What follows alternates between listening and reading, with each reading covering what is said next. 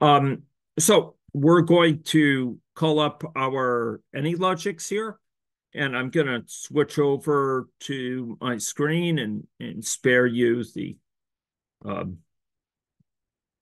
the image of, of my febrile state. Um, okay, so uh, we have AnyLogic now, and now we're going to call up a new model. And this model will be initial S, SD SIRS. Okay, uh, and I'm going to call it V1. And the time unit will be days. Okay. So 1.0 in time, a variable representing some period of time, like recovery delay, will mean one day. Okay. Okay. Um, so we're going to have a canvas uh, over here, and I'd like you to go go down to the system dynamics palette on the left-hand side here. Okay.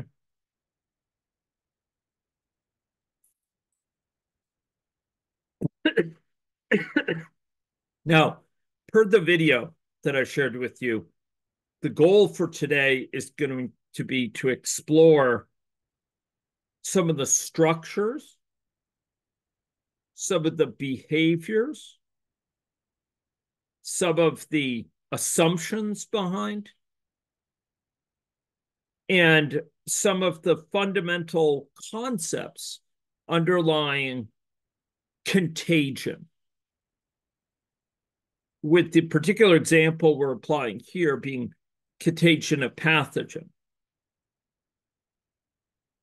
But the concept of contagion transcends its particular manifestation, much as in the world we could encode information in many different forms. Information is not a material thing. We could encode it with strips of paper with symbols on it. We can encode it with with ones and zeros in core memory. Uh, we could encode it with, you know, with uh, small electrical charges and capacitors and, and integrated circuits. We can encode it with with you know uh, uh, marks on a chalkboard or or uh, in an abacus uh, um, uh, sort of uh, small beads.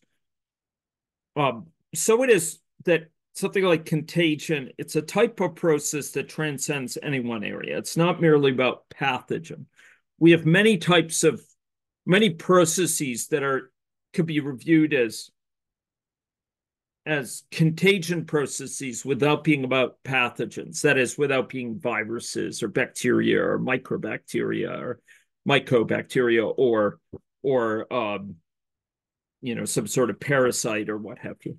Can you give me a few examples of contagion type of processes where they're spread, say, from one person to another to simplify your thinking? Um, in other areas besides spread of uh, communicable illness? Can anyone suggest a few areas? Superstition. Yes, spread of superstition. Others. I was going to say ideas, but I, I, think it's the same. Well, yeah, ideas.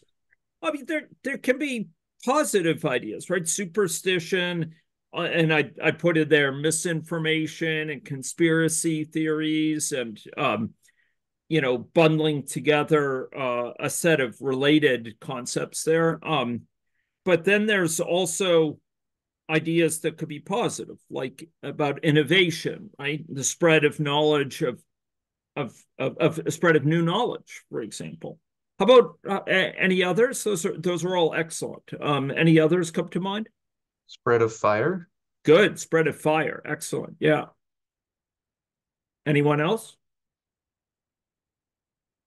computer malware. Sorry, a computer modeling? Computer malware. Oh, malware. Yes, yes. Computer viruses. Yes, indeed. Maybe computer modeling. After all, I'm I'm spreading it to you here, right? Um, uh, the fact, you know, in all of these cases, the fact that some other there's some other instance of it with whom you have contact makes your getting it much more likely. Fire, ideas, innovation, you know, rumors, you know, misinformation, um, spread of knowledge, information, etc. Right? Um, there, there's a, a a notion of spread that's common to all of them, from one to another. Um, it takes two to tango. It takes one that has it and one that doesn't yet have it. Right? Okay. Uh, so we're going to build up a model of contagion. It happens to be contagion, uh, a pathogen, but you could recognize this structure as a common. It could be spread to adoption of services online um, or products, you know, um, spread by word of mouth, for example. Um, okay, so we're going to go to the system dynamics palette here, and we're going to drag in a stock. Okay. And this stock is going to be called susceptible. These are the folks who haven't yet caught this illness or have no immunity to it or have haven't have no immunity to it generally. They can they can catch it. Now I'm going to copy this or I can select it and and uh, click on it while holding the control key and copy it. And I'm going to call this infective. Okay. Sometimes we call it infectious. And I'm going to do that again, holding down the control key and pressing the left mouse button while dragging and I'm going to call this recovered. Okay.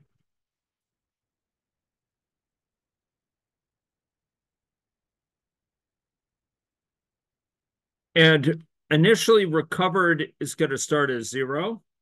Infective is going to start as one. And susceptible is going to start as 1.2 million people.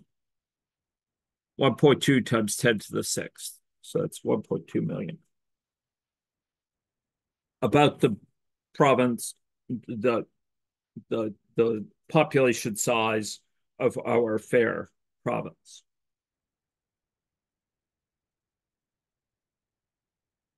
Okay. Um so we have almost everyone starting susceptible. One key spark, one key person starting infective, and no one starting susceptible. And you're going to tell me, based on your review from that lecture.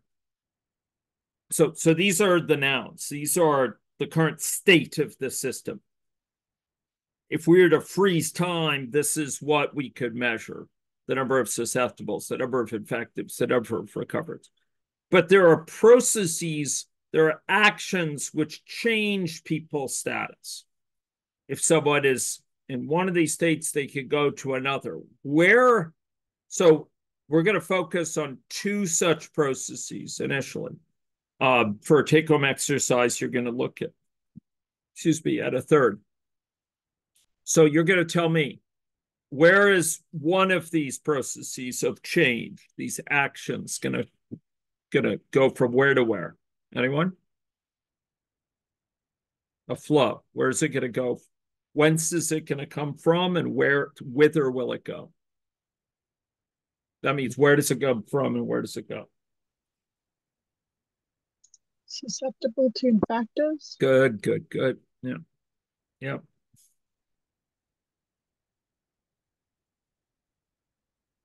So here, uh, we're going to call this new infections. In the health sciences, we'd often call it incidence, but um, uh, with ENCE, but um, I won't use that here. And then there's going to be another flow between which two? Infective and recovered. infective and recovered. Good. Now, you noticed I, with malice of forethought, I, I left exactly three of these larger squares between these. But in general, you may not have done that. You may have, you know, had them further out. Make sure again that they that when you draw the when you drag this in, if you if it doesn't stretch to the one you want, you could either bring this over there, make sure it turns green, or you could bring this over there. Um, okay. Um, and uh, either way, make sure that the connection from this to this is green on both sides. And this flow will be called what? Recovery. Okay. Okay, now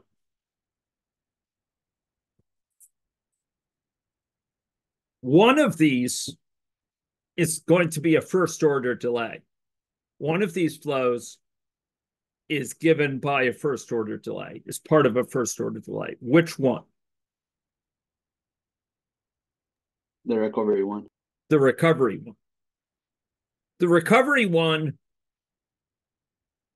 is such that the number of people recovering per unit time is just the number of people who are infective times some constant or divided by constant equally so.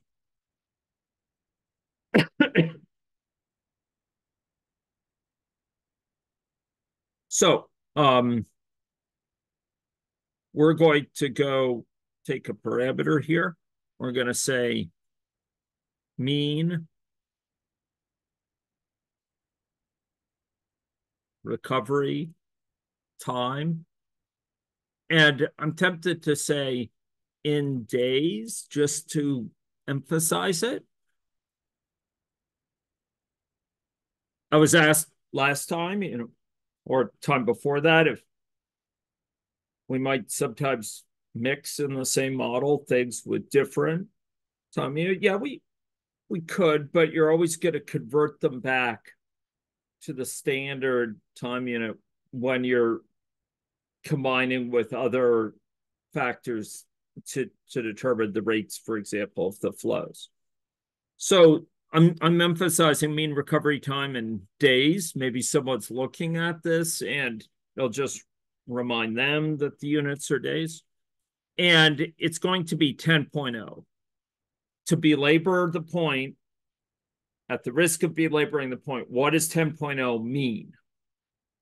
10.0 what? The average number of days it takes before an infective Good. moves to recovery. Good, good. Yeah, it's a number of days. It's an amount of time. So its its dimension is time. Its unit is what? Days. Days. Days. Yeah. Remember, uh, uh, a given dimension, length can have many particular units, right? We measure length in feet and meters and angstroms and microns and and inches and fathoms and furlongs and li and and you know parsecs and and light years and you know many different scales right? Um but they're all length. Time has many different units associated with it as well. Um and and uh, you know, we we can measure things in seconds or years or centuries or months or millennia or what have you. Um, so the the unit of this is days, the dimension is time, and we're going to hitch this up to the delay. So this delay, the, excuse me, to the to this flow. So this flow, this here recovery flow I'm telling you, the value of it at any one time is going to depend on this constant, I mean recovery time in days. But what else is it going to depend on? What else must it depend on to be a physically meaningful thing? Or because it's a first order delay. number what of else? infectives. Number of infectives. Yeah. Yeah. After all, I mean, we're, it'd be kind of It'd be kind of unsettling, eerie almost, right? If the number of people recovering in a given day was independent of the number of people infected. Like who's doing the recovering, right? Some ghostly recovery. No one's sick, but people are still recovering. That would be that'd be downright weird.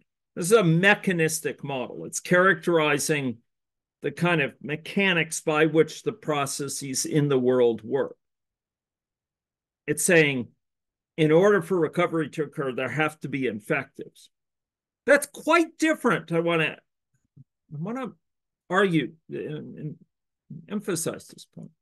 That's quite different than just an associational model where you say, well, when infectives are high, recovery is high. When recovery is high, infectives tend to be high. And I don't care whether it's a it's a simple linear regression or it's the fanciest deep learning model in the world. Those are associational models as traditionally practiced they find ways of saying, well, this is described as a function of these things. And it could be, you know, a fancier relation involving logistic regressions or exponential regressions, not just linear regressions, or we could use a deep learning with multiple neural networks characterizing how this thing depends on these things. But but it's it's it's characterizing their association and it takes into account their correlations with each other. This is a mechanistic model. It's to say, in order for recovery to happen, someone needs to be infected. So we have that link. All the three modeling types that we're covering in this class are involve mechanistic models. Okay, they're characterizing the mechanics of the system for one thing to happen, this has to be true. And it, it's sort of step by step process. So this is important. And to situate this in the context of modern data science, I hope you'll appreciate that it's it's a different type of modeling. It's not incompatible with those other types.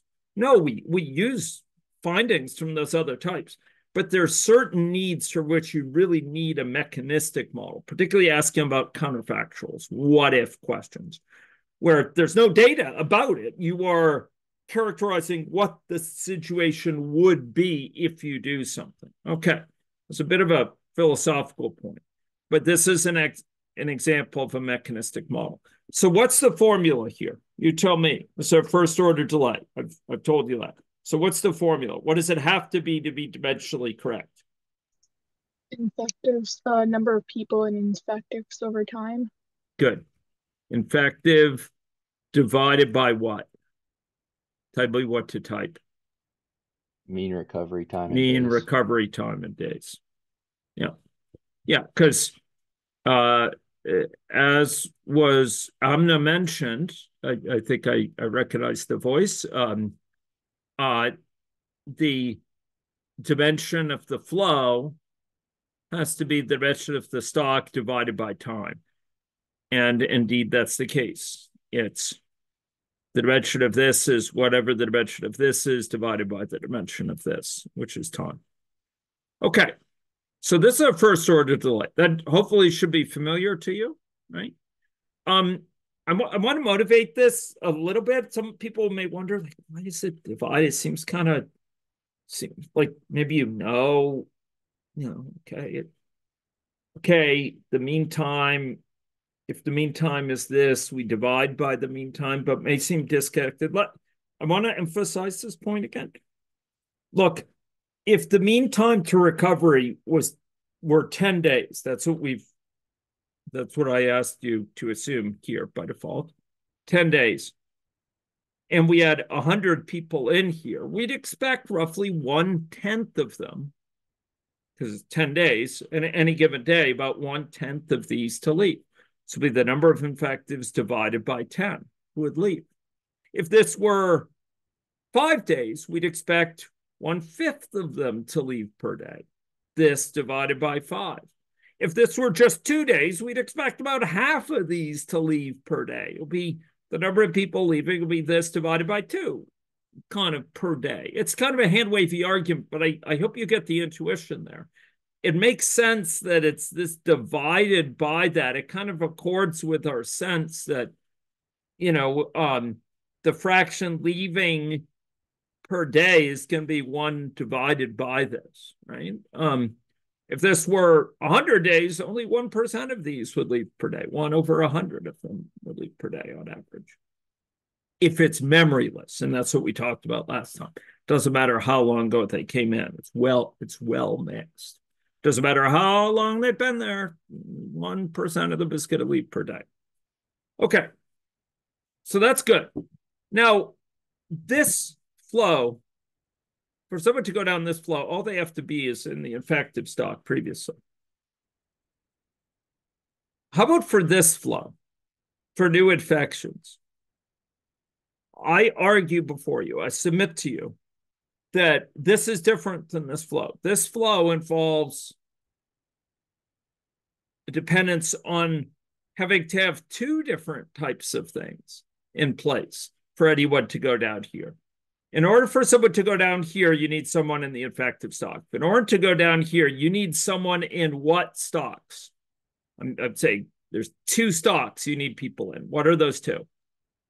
Infective and susceptible. Yeah, infective and susceptible. It takes two to tango.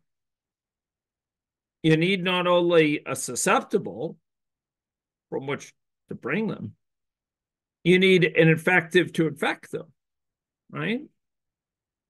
Just like with the spread of wildfire, for fire to be here, there needs to be fire that can spread to it elsewhere. Mm-hmm. Um, so here we're going to have a somewhat more articulated structure. It's going to have to consider the number here and the number here. And I want to walk you through the logic. And I want you to grok the logic with a K. Don't forget that K. No C. No see. Okay. Um, I'm going to call up the chat. Been missing the chat. I'm not talking about the cat, the shop. I'm talking about the anyway. Um, okay. Good, good. I'm seeing lots of good comments here. This is awesome. Okay. Um, okay, so I'm going to walk you through the thoughts. The first thing we're going to do is we're going to put in a total population. Okay. Um, and I'm going to say total population. I, I, I feel a little bit torn I think I should say total population size, but I hope it's, you know, just in the balance between brevity and clarity. I, I hope that's clear enough. We often say, what's the population of Saskatchewan, you know, this year? I, I hope it's vernacular enough that it's familiar. Total population.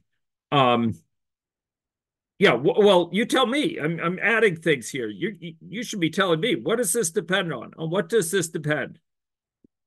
Remember, the state of the model is the number of people, the susceptible state, the infective state, and recovered state. At any one time, those are the things we can measure. If we froze time, we could count the number of people at each of those states. That's the number of time. Yes, the total population depends on the number of people in each of those stocks in turn. Now, those who are further along in their thinking may maybe reflect the fact, maybe on the fact that the total population here is fixed. So it is for the moment. I'm not always going to promise that it's going to be forever fixed. Um, uh, okay, and let's get this over here. Okay, and you're going to tell me, first of all, what's the dimension of total population? If the dimension of each of those stocks is person, what's the dimension of total population? People. People. Yeah. Person. Person. And uh, or you could call people, sure. Um, I dragged in a dynamic variable that has an instantaneous relationship with these others. And the formula for it is going to be we can only add, or for that matter, subtract things of equal dimension. Yes, it's going to be the sum of all stocks. Thank you, Het. Susceptible, oops. Susceptible plus infective plus recovered. You notice I capitalized it, total population. I try to be, as I said, I try to be consistent, and sometimes I lapse. Last time I lapsed. Um, I hope you can chalk it up to my to my illness, but um, I try aspire um to to be consistent. Um, stocks, capitals, flows, lowercase, uh, parameters, lowercase, aspects of state other than stock, like I would consider the stocks the, the basic elements of state. There's a derivative quantity, of, a derived quantity, or, or sort of dependent quantity, total population. I happen to capitalize that, and I could probably argue about it um, uh, either way, uh, but I'm I'm calling it total population. But in any case, it's the sum of these three things. In order to sum these up, they have to have the same dimension. That's a fundamental fact. Um, uh, just like to have, you know, subtract them. It's the same dimension. If you if you have e to the x, x has to be dimensions because x of anything is one plus x plus x squared divided by 2 plus x cubed divided by 3 and so on and and x has to be dimensionless for that sum to be of the same dimension um that that was a bit of tidbit for those following more closely or interested in this. Okay. Um okay so we have the total population and now we're going to compute a quantity that is commonly called prevalence of infection. Now i'm going to call it that but it's the fraction of the population, or if you prefer, the proportion of the population that is infective. And you're going to tell me what the formula is for it. I'm going to drag in a dynamic variable, and I'm going to call it prevalence, or maybe I'll call it infection prevalence. Okay, we'll spare ourselves a, an extra word. Infection prevalence give so it's the fraction of the population that's infected. Tell me what the formula is. Remember to factorize things. You, you can always go back to the basics to, to express it, but if there's quantities that already are an abstraction that capture a concept, we want to make use of them. And indeed, Ken has gotten into the spirit of it. So it's infection its infection prevalence is given by total population divided by infective. Okay. There we go. So infection prevalence is infective divided by total population, right? Notice how I factorized it. I already had something called total population. I could have written infective divided by susceptible plus infective plus recovered quantity, you know, in, in parentheses, but that would have been wasteful. We already had an abstraction that captured this, and it's going to be much clearer to look at here. Someone could glance at this and say, oh, okay, that's the, the total population. Okay. So this is the fraction of people that are infected. Uh, good. Now, we're next going to put a quantity that is going to represent the probability per day that someone will be infected. Does anyone remember from that video about what the formal name for this is? It has a rather distinctive name. It's, it's uh, getting close, but it's actually not called rate of infection. There's, there's a specific term for it. Uh, it is a hazard rate, so I welcome these. I welcome these suggestions, and and I, I force I of infection. Force of infection. Force of infection. During the pandemic, people were talking about this. We were reporting it for 17 jurisdictions across the country, for PHAC, for for all the provinces, for Indigenous Services Canada, for First Nations Reserves and six. Reporting that was one of the main quantities. And it has a very intuitive meaning. It's what's the chance per day is susceptible will get infected in the population. We were estimating using machine learning combined with dynamic models and these sort of models, compartmental models. Um, okay. Um, force of infection, and you're gonna help remind me. Um, well, I'll we'll fill in we'll fill in some gaps. What other things? So one of the things this will depend on is infection prevalence, but what else will it depend on? On what else will it depend? Anyone? The contact rate. Good. Contact Contacts. rate. Yeah. So I'm going to say contacts per day. Okay. And you could think of it as the number of contacts a susceptible has per day with anyone. Well, equally much so, you can think of it as the number of contacts an infective has per day with anyone. But it's the number of contacts per day people in the population have on average. We could call it mean contacts per day, and maybe we'll do it. It's not referring to like mean, like, oh, they're mean to me, right? It's it's like average, uh, like probabilistic mean, right? Um, the expected value of it um, across the population. It's it's not the niceness of that contact. Um, okay. Um, mean contacts per day. And we are going to make this 20. Okay. 20 contacts per day. Now, what a contact's going to be is going to be different for different communicable diseases.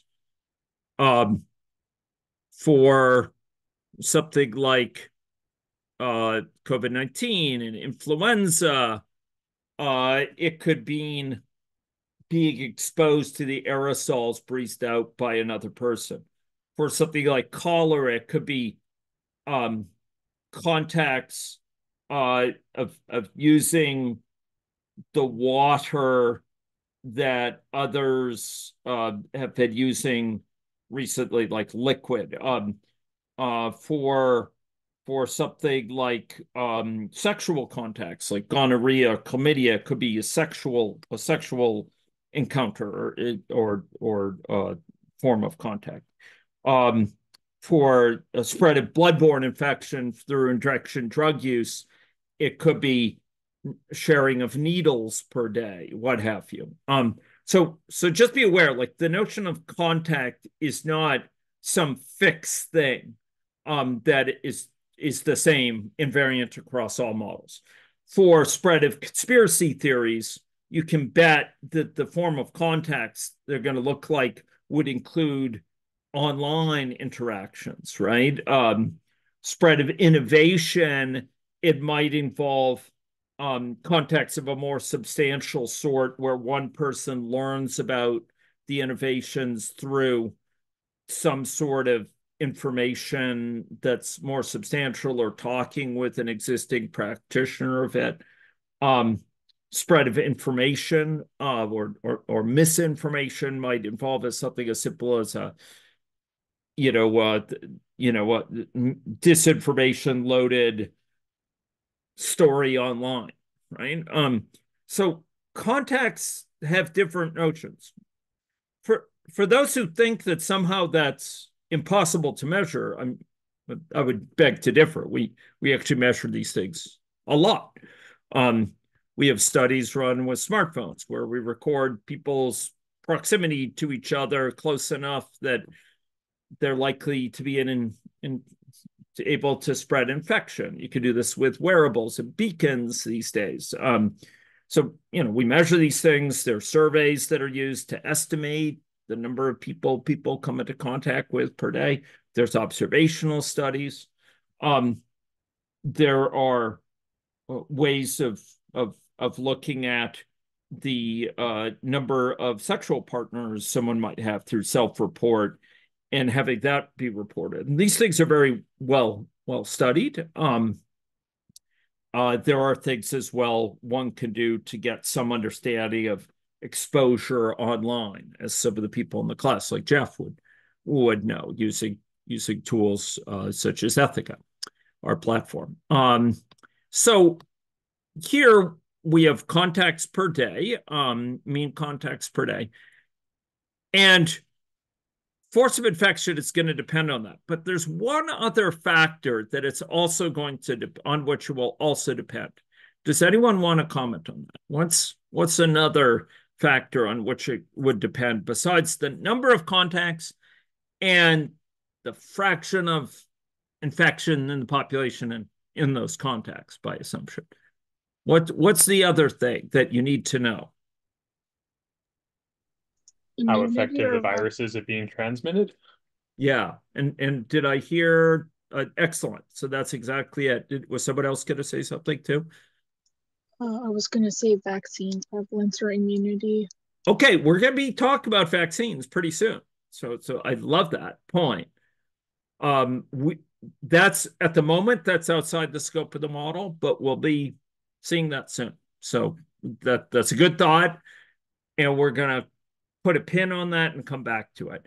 Uh, give you a hint, it'll take people who would otherwise be susceptible and put them into a different protected status, like a, a status where they're protected. Okay. Um, but what I heard was the, the transmissibility, the ability of the virus to be transmitted. So the the term for art of art of this is is you could say transmissibility. I'm going to be brutal. I'm going to be brutal in my my loquaciousness here. Okay, um, so don't don't all of you faint. Okay, um, only I'm allowed to do that here. Um, so I get to say probability of transmission per you could say contact, but it's really per discordant contact. Um, discordant contact. And I know you you may revolt. Um, some of you may be, you know, going to pause right now to drop this this class. But um the point discordant means is it's not just it's not like a given that per contact there's transmission. Why do I say that? Why is it not just a given if there's two random people that come into contact that there'll be transmission with this probability? Because what? Not all contacts are infective. Not all contacts are effective, and not all people contacting them, not all contactees are susceptible, right? You need two to tango. You, one has to be infective, one has to be susceptible. That's what it means by discordant. They are different. So it's a contact between a discordant pair. So so that's what I'm saying. And I'm just forgive me. You may hate me for it, but at least you'll hate me when I'm clear. Okay. Okay. Probability of transmission per discordant contact. And I'm going to say 0.04. 4% chance of transmission. One out of 25 per discordant contact. So per contact between an infective and a susceptible, there's a 4% chance it'll be transmitted. May cause you to shrug. May lead you to say, oh, that's no, no, no, uh, no big potatoes. Well, it's gonna be pretty big potatoes soon. Okay. Um, okay. Uh, so what I'd like you to do now is to complete the thought. So we've been motivating these things by thinking what on what would the my chance as a susceptible of going out there of getting infected per day depend it's going to depend on my contacts it's going to depend on the prevalence of infection out there including above my contacts and on this probability. And so i'm going to hitch them all up. After all we we've posited so we've hypothesized it depends on all of these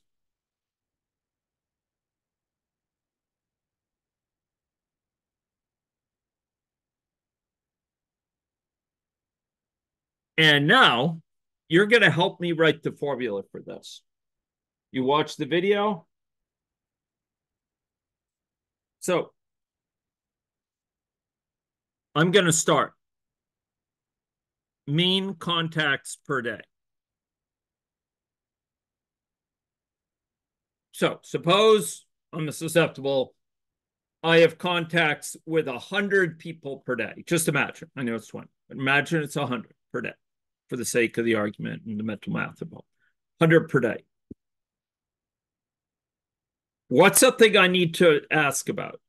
So, so we want to get a probably per day that I, as a susceptible, get infected. So I, I have contact with 100 people total. And we're going to take into account this probability of transmission that that that an infective will infect me. But to do that, of those 100 people, I need to find out how many are what? How many are Infected. infected? Infected. And I could use this probability if each of them will transmit to me. So good. So we're going to use the approximation that among these people that I see per day, say the 100, that the fraction of them that are infective is the same as the prevalence of infection. So the prevalence of infection among them is the same as the prevalence of infection in the whole population. The fraction of them that are infected is the same as the fraction of the whole population that's infected. So I'm going to say infection prevalence. Okay, so this times this. What is intuitively, what is this going to mean? This is the total number of contacts I have per day, maybe 100. Imagine the prevalence of infection is 50%, 0.5. This is 0.5. What does this mean? That multiplication, what is that giving me? Is it the number of contacts I have per day total? Average number of infected contacts you Con- get. average number of infected contacts I have per day. So if this is 100 and this is 0.5, the, the fraction of prevalence among them is 0.5, then this is going to be 50 contacts with infectives per day, right? Have contacts with 100 people total and 50% of them are infective. 0.5, then I have contacts with 50 infectious contacts per day. Hmm? And then we're going to assume for each of those contacts I have with an infective, and this is an approximation, I'm going to have a probability of transmission of this here because I'm by we're positing I'm a susceptible. That's why we're going to be applying it to these susceptibles. Um, that they have contacts with those many infectives, and each of those confer a probability of this, a 0.04 here, of getting infected. So again, this is the total number of contacts they have per day. This is the total number of contacts they have with infectives per day. This is an approximation to the total probability that they have of getting infected once you consider all of those different contacts with infectives. Okay.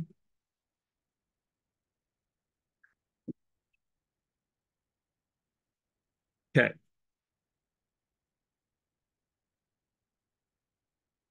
Okay. So that's the force of infection. That's the chance per day that a given susceptible will get infected. So how are we going to use this? And where are we going to use this?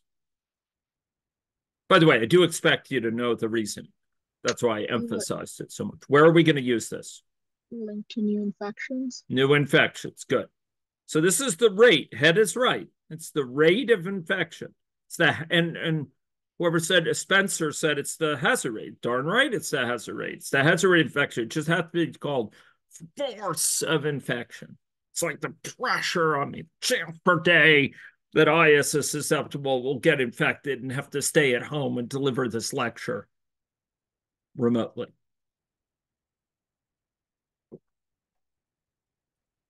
Okay. Um, what else will new infections on what else will new infections depend? Number of susceptibles. Good, good. Number of susceptibles. And we said this was a rate. This is a hazard rate. So you're going to tell me what's the formula?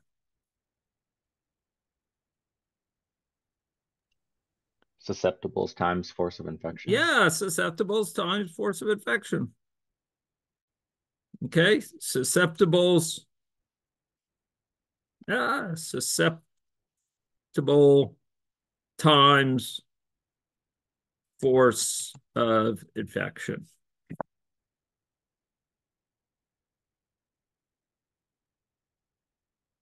Make sure it builds.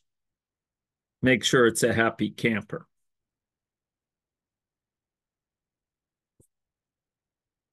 So look, I mean, this should remind you of the same pattern we use for, I mean, very similar pattern to first order delay, where this is a rate and this the the value of the flow is just the rate times the susceptible. What's different here is this is not a constant anymore. No, no, no. It depends on the state of the model. So it's not a first order delay because it de doesn't depend just in some purely linear way with this being a constant on this. Um, I would not call that a, a first order delay. Um, it's something fancier. Um, okay, we're about to go on to run this. But are there any questions um, about this before we go on here? Make sure you can build. Build early, ladies and gentlemen, build often. It's a lesson for life. Okay. Okay. Um, any questions on this? Anyone say, could you just tell me what you put in? What was the number for probability of transmission per discordant contact? Anyone? Um, what was the infective, uh, infection prevalence again? The infection prevalence, good question. And I welcome these questions. Awesome, Amna. Um, it's infective divided by total population. So it's this divided by that. It's a formula. It's a dynamic variable. Mm -hmm. Infectives divided by total population. It's the fraction of the total population that is infected. Okay. Value for infective was one. Great questions. Keep them coming. Any other question? Susceptible is 1.26. I'll go through the parameters. Uh, when would you want to use a dynamic variable in a parameter? Dynamic variable is used to calculate, in general, a change in quantity based on the current state, an instantaneous changing quantity. A parameter is used to specify a pre-specified, most commonly fixed, constant value. Uh, a dynamic param a dynamic variable, or the, the, actual normal term of Hartford is auxiliary variable, is used to calculate something as a function of the current state. Total population as a function of this plus this plus this. Infection prevalence as this divided by that. Um, force of infection is this, you know, this times this, well, this times this times this. Um, yeah, it, hopefully that's helpful. The value of the probability is 0.04. Let me let me go through these just one more time. Um, so this is 20 mean contacts per day. This is 0.04 probability of transmission. This is mean recover. Oh, ah, help, help, no. Um, mean recovery time of days is 10. Mm. Initial value for susceptibles is 1.2 E6, 1.2 times 10 to the sixth. Infectives is one, recovered is zero. Okay. Okay, I'm going to push on because time, tempest fugit, and time is limited. We're going to rename the simulation baseline as a reference scenario. And we're going to run it.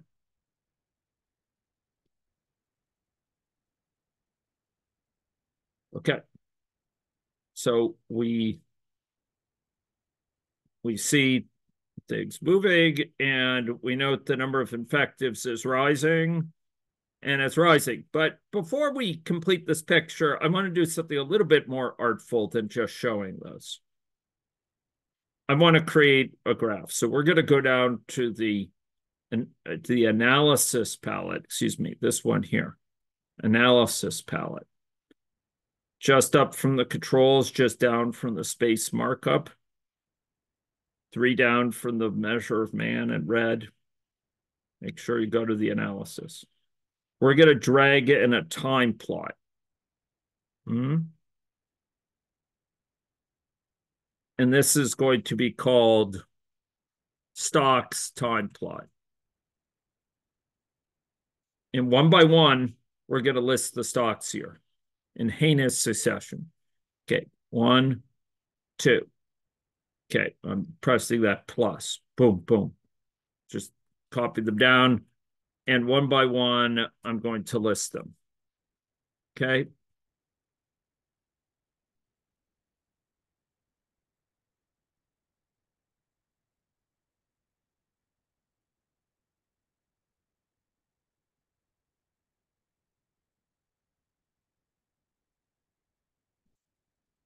Bada bing, bada boom. Just one by one, I listed them out here and I didn't change anything else. I am going to finally, so what did I do? I dragged in a time plot. I called it stocks time plot. And I used this plus to create both of these. And then I put susceptible in that one, effective in that one, recovered in that one. Okay. Okay. Final thing I'm going to do is I'm going to go to baseline. And I'm going to set this to stop at specified time 100. Just change this stop under model time for this. The model time, if you need to expand this accordion menu and have it stop at time 100.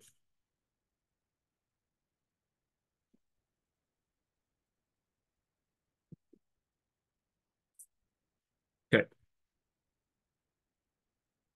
I'm going to call this now view two.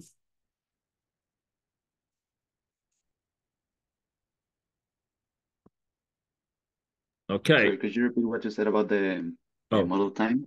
Ah, okay, closed it. Uh, sorry. Um, I, I came back to to answer your question. I closed it. Uh, closed the whole ID AnyLogic, not just the window that it was running. Um, uh, okay, let's hope. Uh, uh-oh. Oh no, job's still running. Ah, okay, okay, we may be in we may be in trouble here. Give me give me a second. Okay, okay, we're we're I think we're okay. Um, so uh yeah I, I set the baseline to be went down to model time and set it to be stop at specified time and I just used the default there okay Thank you. yeah okay okay so here we go so that will stop it at time 100 and you're going to tell me what's going on here. Okay. So, someone tell a story about what we see. What's the story? What's a good story for, or what's what what's the story that comports with what we're seeing? What's going on? Initially, almost everyone is starting what?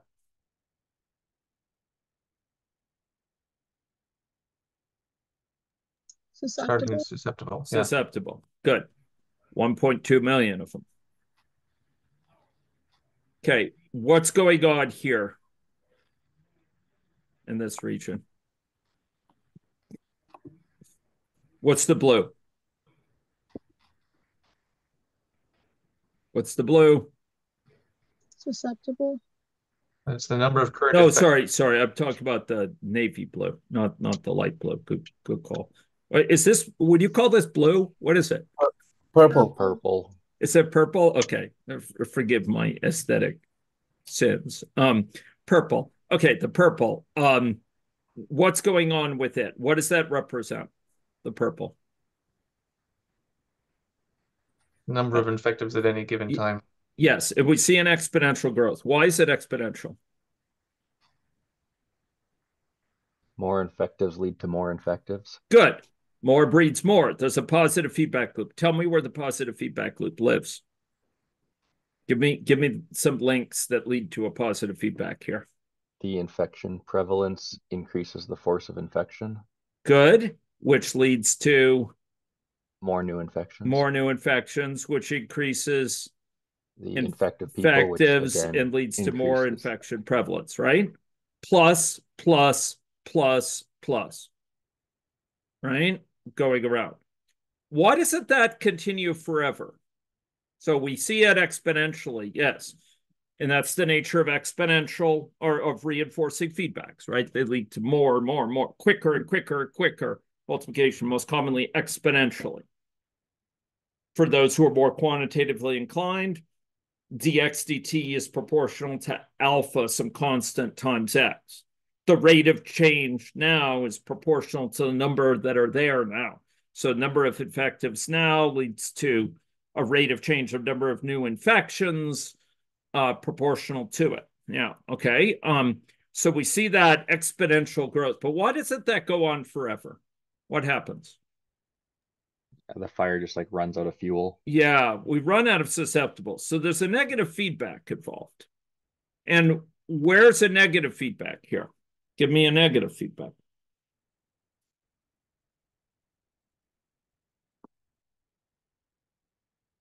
More susceptibles, more new infections. More new infections. What is this? What's the there there's a there's a link going back from new infectious to susceptible. What's the polarity of that link? Minus or plus? More new infections, less infections. susceptible. Yeah, it leads to less susceptible. So there's a negative feedback loop here.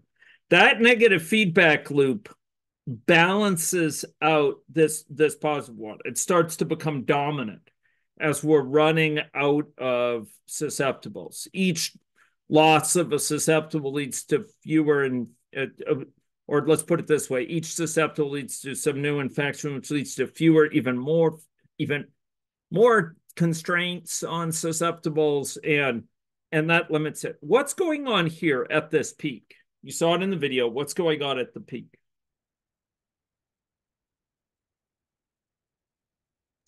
okay troy maybe you could talk with what the talk with matthias about it uh in the he's in the link here sorry amna yeah mhm. There's no susceptibles left to infect. so There's a reduced number of uh, susceptibles left reaching a peak. okay in so infectives. so when there's a peak it's flat so so i mean i know it may look like a, peak but at that point it's not going up or down. At that very peak it's not going up anymore it's not going down. It's it's just there. If and this is a plot of the stock infective what does it mean if the stock infective is not going up not going down? If it's flat what does that mean? What does it tell us about inflow and outflow? Inflow and outflow are equal and the effective reproductive number is one. The effective reproductive number is one. What is the basic reproductive number here? Oh, do- or does, oh, does anyone remember? Let's let's let's take Jeff's idea further. Basic reproductive number is what does it mean? The basic reproductive number. The what? Average the average number of people infected by a single infective in a very special case. What is it? Good call, Troy. Um, it's in a very special case that everyone around is susceptible. What is the basic reproductive number in this in this model? How many people, if everyone is susceptible, how many people will a given infective infect before they recover? Well, let's do the calculation. Suppose I'm a single infective, I'm first infective, I'm in a sea of susceptibles. I have contacts with 20 people per day. That means with 20 infectives. Each of those people, I have a chance of 0.04 of infecting. 20 times 0.04 is 8 for those not familiar with it um, or not not uh, quick on your your your uh, toes with math, uh, with arithmetic. Twenty times 0.04 is eight. Okay. Hmm. Um. Excuse me. It's is is 0.8. Excuse me. What am I? What am I saying? 0.8. 0.8. Um. I'm not quick toes with it, especially what I'm saying. 20 times 0.04 is 0.8, right? Um. And then that's per day. I have contacts with 0.8. I, I'm infecting 0.8 people, right? I contact with 20 susceptibles. Each of them has a chance of 0.04 being infected. So it's 0.8 people per day that I'm infecting. And how many days am I infected on average? And 10. So I infect on average how many people before I recover?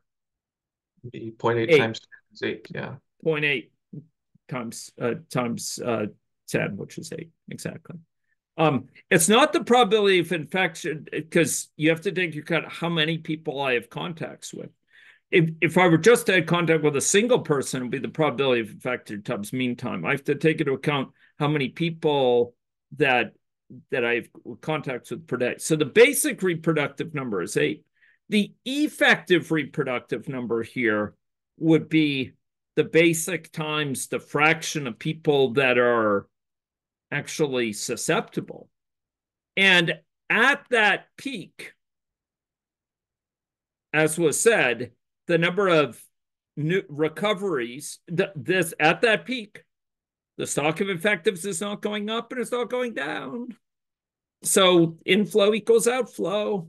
So recoveries, the rate, the number of people per day recovering is the same as the number of people per day that are getting infective. But also the effective reproductive number, the number of people I infect before I recover in the current context, given how many infectives there are around, will be what? Will be what? If it's not going up anymore, it will be what? If it's not going up, it's not going down. I infect how many people before I recover on average? It's not going up or not going down. I it's how many? No, One, one, one. It was eight if I'm surrounded by total susceptibles. At this time, I'm not surrounded by total susceptibles. In fact, the number of susceptibles is way down here. It's a it's a small fraction of its original value. Um, it's like 140,000 instead of 1.2 million. No, at this point, the number, the I will infect as an infective one person before I recover. Mm? Um, uh, and that single person that I infect uh, will replace me. It's kind of like before I recover, I nominate, oh, this person's going to take my place. And and I sw- uh, I recover. That person's now infected. They nominate one person. They've, you know, passed the baton. And so the total number of people being infected will stay the same at that point, or the effective reproductive number is one, where it's just passing the baton. Mm? After that peak, some infected aren't even infecting anyone before they recover. Precisely. After that point, the number of susceptibles is continuing to drop, as Bab says. So the number of susceptibles is continuing to drop. So these infectives are finding it harder and harder to find people around them to infect anymore. And so they're they're not even going to find one person to replace them. They're going to recover before infecting anyone. And now the number of infectives will be going down because you have all these people who were infected but haven't gotten a replacement, haven't been able to pass the baton.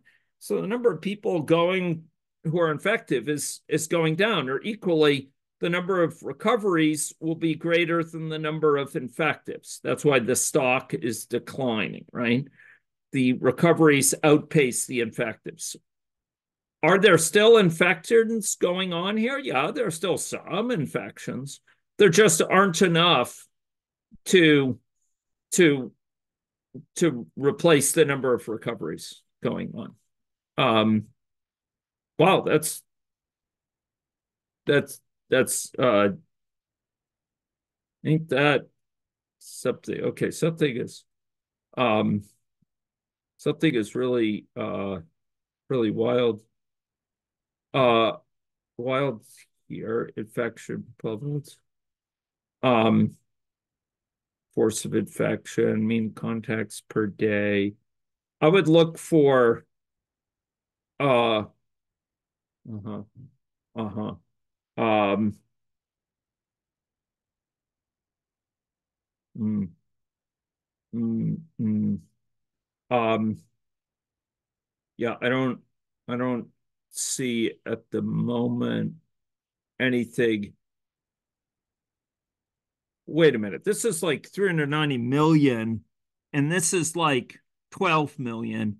How is the number of infectives divided by this? This is bigger. Eh, How is it like only this? I would check out the formula for this because that, that looks suspicious um here. Anyway, uh, uh, I would speak with Matthias. Um, yeah, uh, the equations for the flows, this should be this divided by 10. That looks about right. This should be this times that, and that looks, uh, uh, what? This is like 1 billion. Oh, this is like 5 billion. Okay. Um, uh, no, 50 billion. Um, so anyway, uh, I would talk to Matthias. Okay, you folks got to go to class. Um, uh, I am launching. So, um, so there's a turn in for this uh, in class exercise two, uh, and it is published now, and you have till 1.30 to turn it in. Okay, thank you, everyone. Take care there. And I will now hold office hours uh, till half past uh, at this at this point. Thank you.